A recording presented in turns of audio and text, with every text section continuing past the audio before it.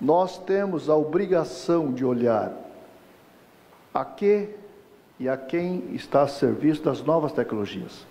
Evidente que as novas tecnologias ela é muito importante, positivo, mas a gente acaba observando que nós estamos virando escravos das novas tecnologias.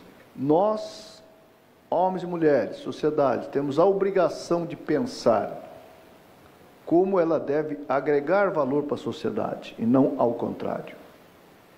E quando se fala em trabalhadores de plataforma, a nossa obrigação é refletir de como nós possamos garantir o equilíbrio. Jornada não pode ser extenuante. O trabalho tem que ser valorizado. Como dar transparência? Como evitar que uma, um trabalhador, uma trabalhadora, sentindo prejudicado ou prejudicada, tenha alguém a falar e não com uma máquina? Então, o que eu peço, serenidade das partes no processo de construção de um entendimento que possa oferecer depois ao parlamento as possibilidades de transformar em lei. Crie condições do parlamento aprovar uma legislação que valorize o trabalho, que respeite as partes.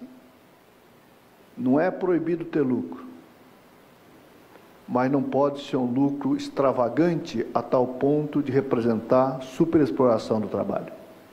Nós tivemos escuta praticamente o semestre inteiro, ouvindo muita gente, ouvindo as partes, para criar um ambiente de negociação. Então, acho que agora estamos aqui né, para iniciar essa tarefa.